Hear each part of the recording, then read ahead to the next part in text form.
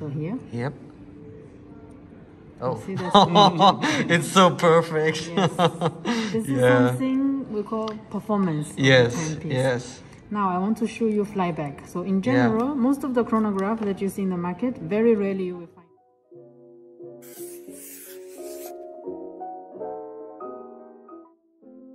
Hey everyone and welcome back. So guys, it has been a while since we did the last shopping trip across the malls of Dubai.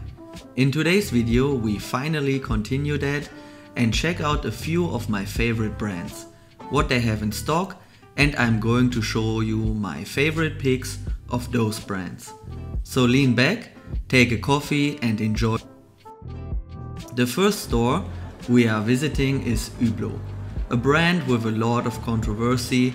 People either hate or love them.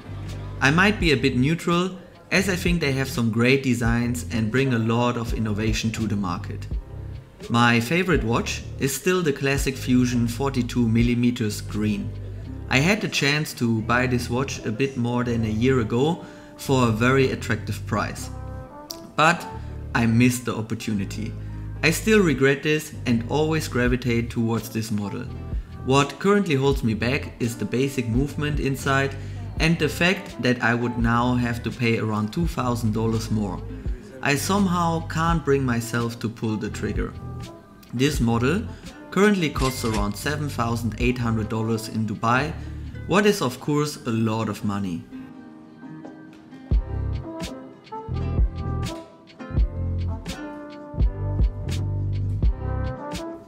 Then we have the Hublot Big Bang Integral, a very nice sporty watch that is made out of titanium, has an integrated bracelet design, a skeletonized dial, 72 hours of power reserve, a chronograph function and comes at a whopping $20,900 price tag. Maybe this is the best watch you can buy right now at Hublot if you have the bucks. The size is 42 millimeters.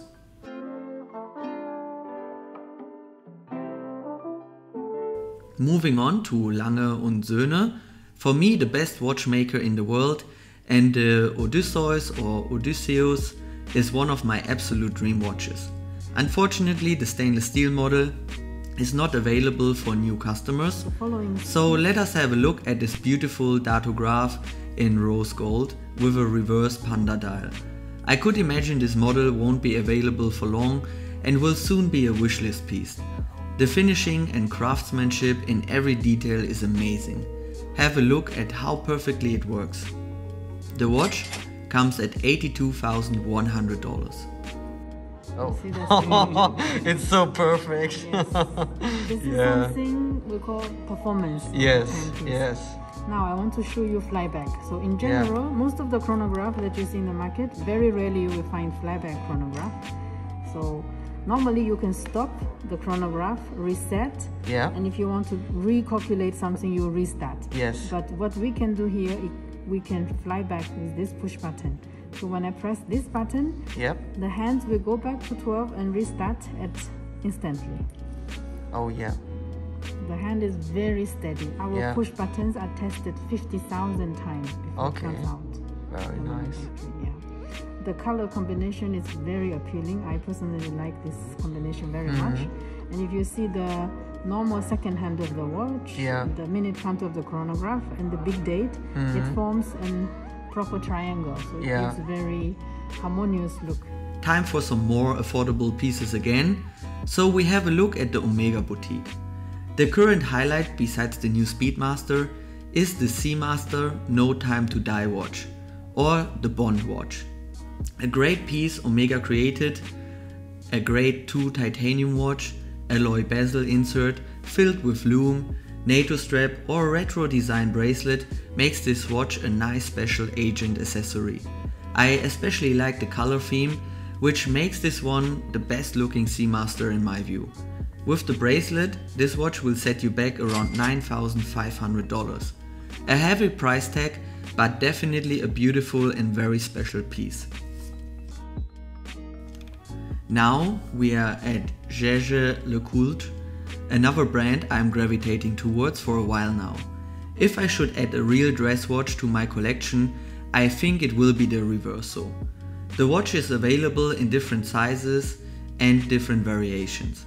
My favorite is the simple single phase small seconds on brown leather strap. JLC recently introduced a green version of it, which looks nice as well. Still for me it would be the silver dial on brown leather strap.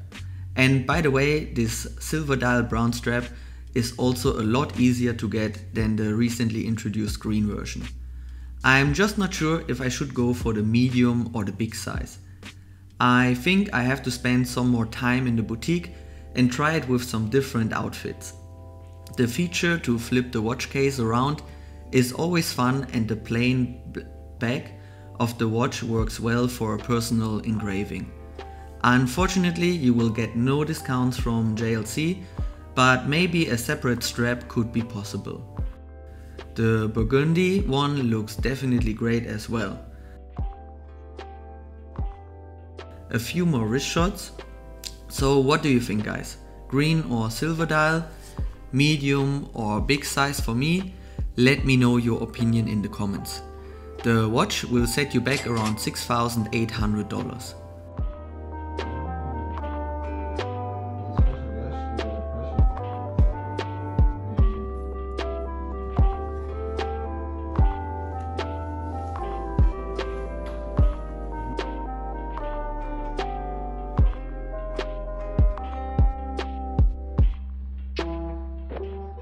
Moving on, we have one of the underdog watchmakers right now, Bulgari. The Octo Finissimo is actually a very nice piece, from a brand with a long history and experience in watchmaking. You can get this watch with an integrated bracelet, a blue sunburst dial, an incredible thin case and a beautiful looking movement at the boutique quite easily. So in case a blue dial steel sports watch is your dream, definitely give it a try. For me the case shape just doesn't work on the wrist. I don't know why, but it doesn't feel comfortable. I guess I have to skip this watch, besides the fact that it makes everything right. The watch will set you back around $15,000.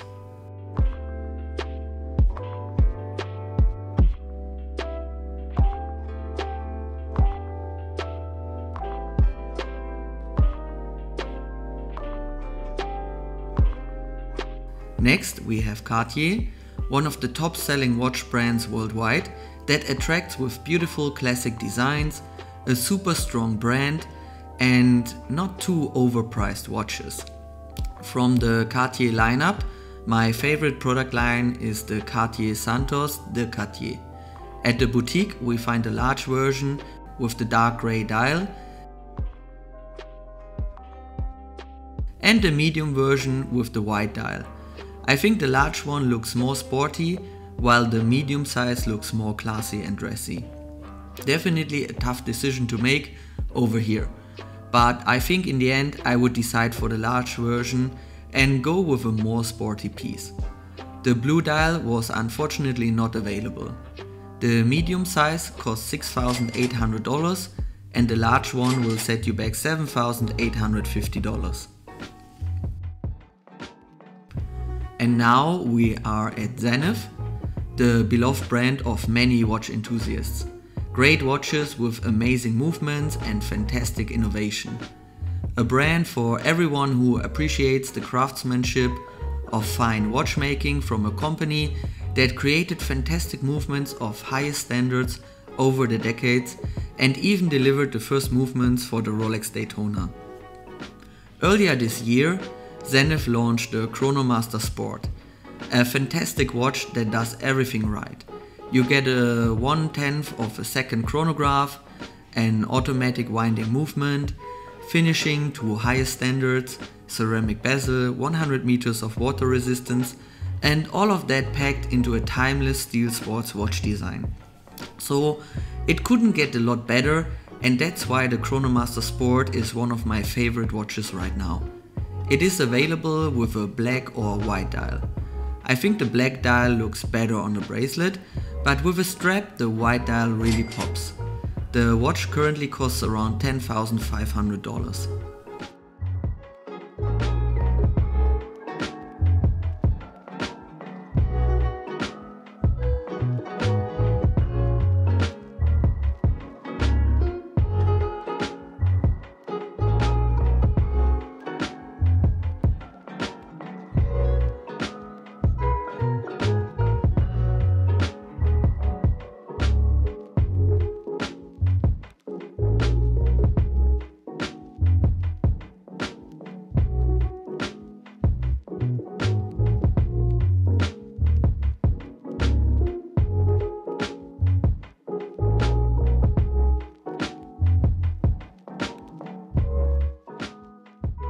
Besides the Chronomaster Sport, I'm also a big fan of the Defy lineup as I also own a Defy Classic myself.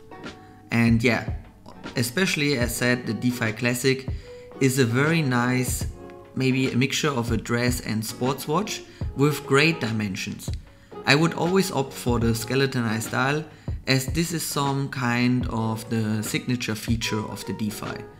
Also the ceramic version looks great in my view. This carbon version is also super super cool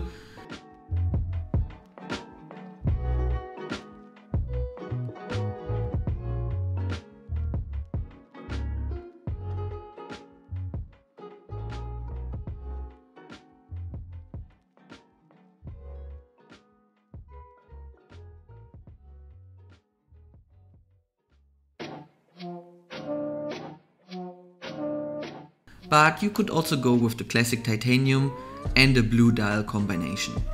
So this Defy series I guess delivers a package for pretty much everyone out there.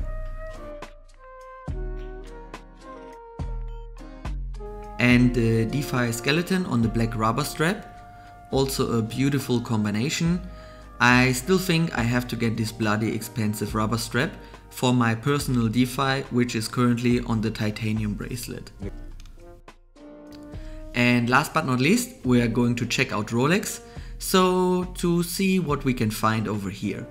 Before I am going to show you all the watches we can find at the Rolex store, please have a look in the video description in which I put you some links of Chronext in case you're interested in one of those watches. With the code, the Dubai Expat, you can get a nice discount on top. So have a look as Chronext is one of the best pre-owned watch dealers that you can find globally.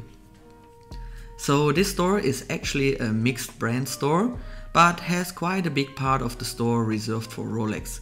In the display we can unfortunately only find Datejust and Day-Date models. A few two-tone watches without diamonds, but only on Oyster bracelet and the ones without diamonds are also without the beautiful fluted bezel.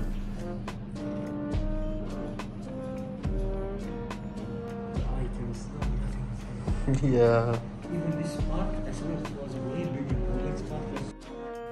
As the demand for Rolex is so strong, this is the typical picture that you will face here in Dubai. And with that guys, we are at the end of my first part of the watch shopping trip. I hope you got some inspiration for a lot of beautiful watches that you can still find at the malls without a wish or waiting list. If you are interested, check out the links in the video description. See you in part 2, stay healthy, thank you for watching and bye bye.